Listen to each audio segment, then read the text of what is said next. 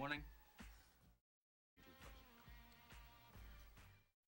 Room service, they're going to be up in a second with some toast and coffee. Oh, no, I, I have to go.